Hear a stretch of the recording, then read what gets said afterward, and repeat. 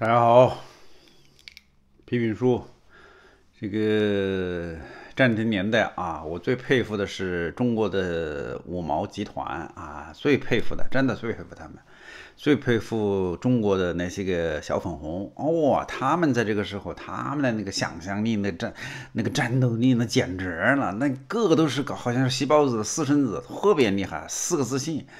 各种有趣的段子啊，这些跟大家扯扯。最搞笑的就是他们现在就是幻想出一个特别精彩的故事，就就就关于普京这个人嘛。我觉得普京为什么这么牛逼呢？普京为什么这么像我们习主席一样的四个自信呢？为什么悍然发动侵略战争呢？啊，真的厉害啊！我们要支持俄罗斯，支持普京呢，是不是？哎，觉得这个人搞得好啊，这小粉红嘛，大家都知道啊。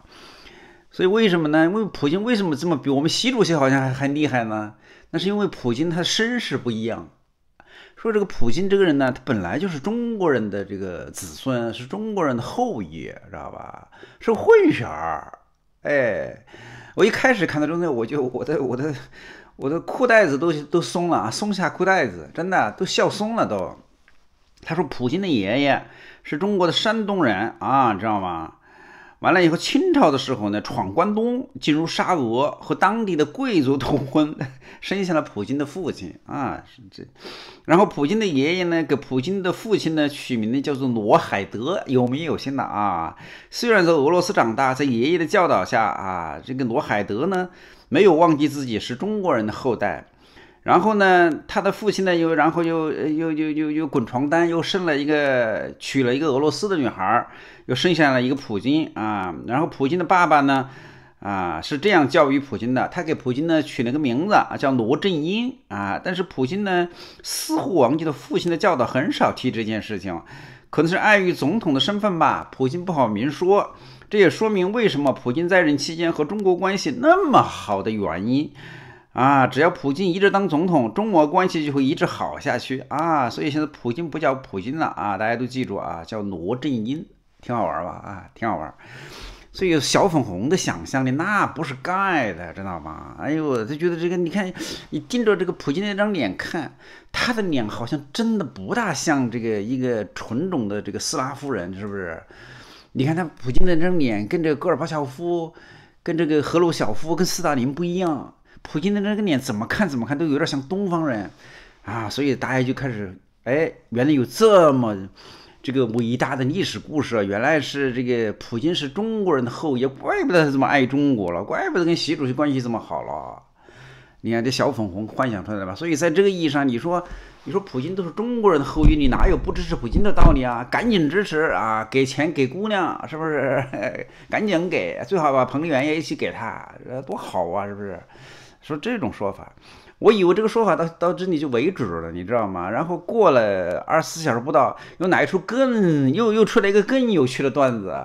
哎呦，我这下子上一次我是松下裤带子，哎呦，这下子我简直都都都变成了什么什么什么郑雄了，知道吧？哎，这是好像是贾平贾平凹的这个段子吧？我也不知道是什么啊，什么？哎呀，我都说不出口啊！这个 中国人的说段子蛮有趣的啊。这回说普京是谁呢？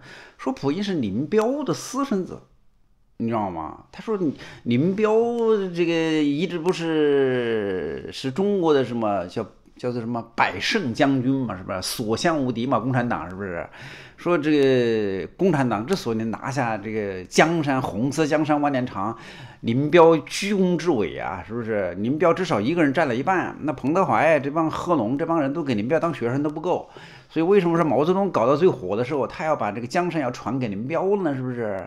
那是因为林彪太聪明了，又雄才大略，尤其是人类最伟大的军事家，可以把整个长春围起来啊，让长春的老百姓全都饿死、渴死，知道吧？说现在普京为什么有这么伟大的军事的战略的谋略呢？就是因为他是林彪的私生子，人家是遗传，知道吧？说林彪年轻的时候去去去那个什么俄罗斯啊，然后呢就跟当地的姑娘就啪啪啪。哎，然后就生出了这么一个普京，说这么一种路子啊，说你看林彪后来他为什么就跟毛泽东搞翻了以后，他还偷偷要跑哎，他为什么不往这个台湾跑啊？你说那个时候往台湾跑多好啊？或者往往那个日本跑也可以啊。他为什么跑跑到苏联的方向，跑到蒙古那边跑呢？是不是？最后摔死温多尔汗，呢是因为蒙，是因为苏联有他的亲人，有他的这个是私生子，他有他有亲属有血缘关系在那边，所以他就往那边跑。人家是很聪明的，知道吧？逃到自己的儿子的怀抱里面去。那时候普京应该有应该有多大了？没多大吧？应该七七十年的普京也不小了啊，也不小了，也应该二十多岁了。哎，所以他很有意思呀。哎呀，这么一解释，我觉得有道理啊！很多人都觉得有道理，怪不得普京这么牛逼啊，这么这么是人类当下最伟大的军事家，原来是继承了我们中国的大常胜将军林彪的血液啊！哎呦，不得了！那为什么这个习主席和这个你和普京的关系这么好呢？因为习主席是什么？有一盘更大的棋啊！这又是第三个段子。哎呦，我说的特别好笑。说习主席其实不是习仲勋的后代啊！你看习主席就那样，知道吧？习主席长得其实你稍稍化化化妆挺像毛泽东的，知道吧？完了以后说是你你他们说你看华华国锋是习主席的后代啊，是毛主席的后代。你看习主席长得跟华国锋有点像的。还有说习雷锋是毛主席的私生子。你看雷锋跟这个习主席长得也有点像的，尤其是嘴巴。就是这个鼻子下面有点像啊，说唯一不像的就是一个眯眯眼。毛泽东是浓眉大眼嘛，是不是？那习主席是个眯眯眼，是一个他的眼睛就好像一个被一个小刀划了一口一条伤口，就眯着个眼睛，永远就这样啊，那挺好意思，挺有意思的啊。说这个习主席啊。呃，完全掌控着普京，就像当年的这个毛主席完全掌控林彪一样的啊！一开始林彪比较懂事儿嘛，那任何场合都拿出个红宝书，毛主席万岁万岁万万岁！大海航行航行靠舵手，干革命靠的是毛泽东思想、林彪的指示嘛，是不是？哎，中国人都会唱啊！完了以后呢，但是毛泽东是何许人也啊？是神仙下凡呐！毛泽东是上帝啊！那控制林彪控制的死死的啊！一旦发现这个林彪有有所不轨啊，迅速就把他弄死了，你知道吧？哎，说现在这个习主席是谁是谁的私生子？是毛泽东和一个女人的私生子啊！所以今天的人类世界，中俄关系是两个共中国共产党的这个最高曾经的最高领导人的这个私生子的啊合作啊与与共赢啊！但是呢，更大的戏在后面。今天是普京作为林彪的私生子与习近平作为毛泽东的私生子之间的一个合作啊，要干倒西方资本主义，知道吧？要中俄联盟，万念长青啊，搞这个事情不得了的事情啊！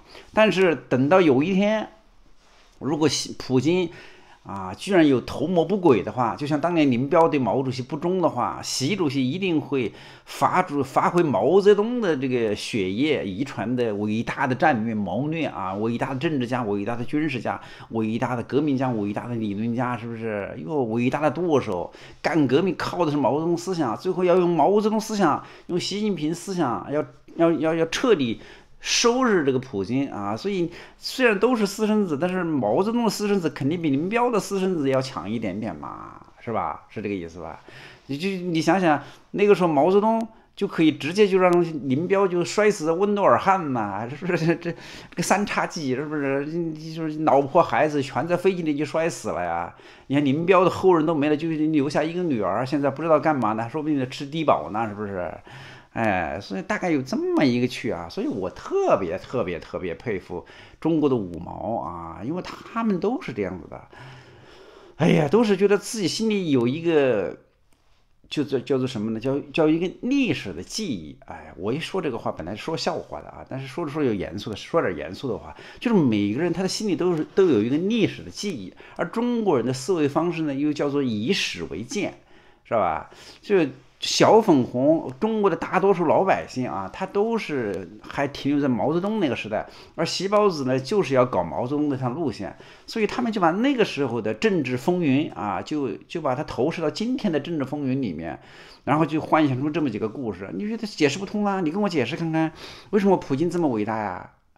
俄罗斯不至于啊，没这么伟大的呀，是不是？那是因为他有我们中国人的血统，有我们林林副主席军事家的血统，是不是？那以后是不是林副主席你或者普京就掌控世界呢？他这么聪明，这么有我们中国人的血统？不是，我们还有就是叫做什么道高一尺，叫做魔高一丈，这是中国人的习惯吗？什么强中什么更有强攻手，是吧？最后习普京一定要臣服于我们家习主席，为什么呀？因为习主席的才雄才大。大略是来自于毛泽东的经验，所以毛他说习主席比普京更厉害，所以整个世界到时候人人类命运共同体，全世界都得听我们习主席的，知道吧？什么其他的个王八蛋都不行啊！先让普京干倒西方帝国主义，然后由习主席干倒普京，你说这个世界上是不是中国最伟大？是不是厉害了我的国？人类命运共同体是不是啊大有希望？他就跟你描述这些个东西。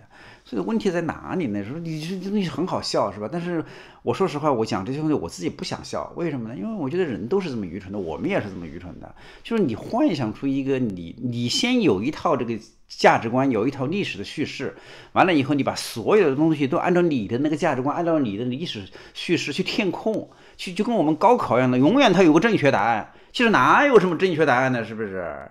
是不是没有正确的？今天这个世界，我说过无数次的，普京也不是个好东西，拜登也不是个好东西，乌克兰的总统也不是个好东西，习近平更他妈不是个好东西。